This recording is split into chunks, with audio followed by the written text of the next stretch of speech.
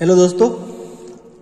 आज की जिस सेक्शन में हम बात कर रहे हैं पोस्टीरियर कंपार्टमेंट ऑफ़ थाई तो पहले देखते हैं this is the gluteal region मतलब it means also the posterior compartment of gluteal region and this is the posterior compartment of thigh up to the knee joint okay so this is the posterior compartment of thigh in the posterior compartment of thigh mainly तीन muscles होते हैं and चौथा muscle होता है adductor magnus muscle of the medial compartment as well as the posterior compartment of thigh ठीक?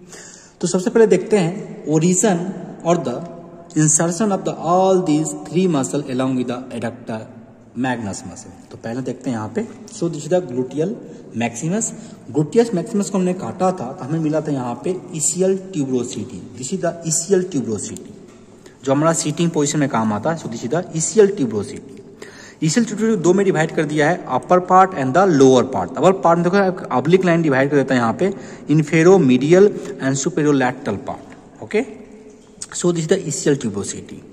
And this is the lateral side of the leg, so this is the fibula. In the medial side of the leg, this is the tibia. So, medially जो बोलते हैं tibia होता है laterally कौन सा होता है यहाँ पे? फिबुला होता है। ठीक, ये हमने ओवरव्यू देख लिया। अब हम बात करते हैं तीनों मसल की। ठीक है सबसे बात लेटरल साइड मसल देख रहे हैं यहाँ पे। ये मसल्स को आप बोलते हैं सेमी होती बाइसे फीमोरिस मसल जो लेटरली जा रहा है आपको। ये कौन सी यहाँ पे? बाइसे फीमोरिस मसल ओरिजिन कहाँ से? इसियल ट्यूब्रोसिटी से। कौन सी पार्ट से? Inferomedial part of the ischial tuberosity पे। So long head of bicep femoris long head of bicep femoris muscle उसकी शॉर्ट हेड की ओरिजिन होती है लीनिया एस्पेरा से।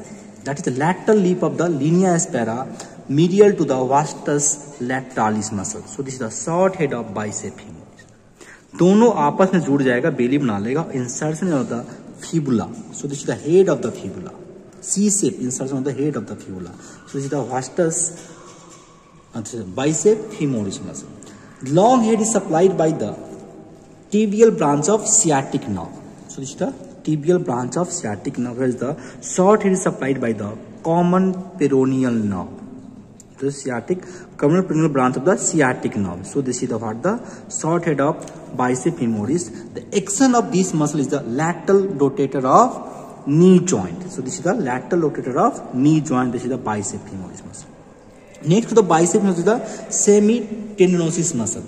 Again, the origin from the inferomedial part of the along with the bicep हिमोड is the semitendinosus muscle insertion of the medial surface upper part of the medial surface of the tibia यहाँ upper part of the medial surface of the tibia behind the sartorius and the gracilis so this is the semitendinosus muscle the nerve supply again the tibial branch of the sciatic nerve so this the medial rotator of knee joint उसके बाद देखो यहाँ पे, ये बल्कि muscle दिखाई दे रहा है। Semimembranosus muscle the origin from the superior lateral surface of the ischial tuberosity and the insertion on the medial condyle posterior surface of the medial condyle of the tibia. So this is the which muscle? Semi membranosus muscles. So okay action of this muscle is the medial rotator of knee joint and the nerve supply is again by the tibial branch of the sciatic. nerve. Now the another muscle. That is not the part of the posterior compartment of thigh but is a part of the hamstring part okay? So this is known as a adductor magnus muscle. So this is the adductor magnus muscle okay? So this adductor magnus muscle is a muscle of the adductor compartment as well as the posterior compartment. So this is the hybrid muscle, the adductor magnus muscle. The adductor magnus muscle take origin from the ischial tuberosity, from the lower half half of the ischial tuberosity from the lateral surface. What the adductor magnus muscle and insertion of the adductor tubercle. So this is the adductor magnus muscle. Okay. So these are the muscle of the posterior compartment of thigh.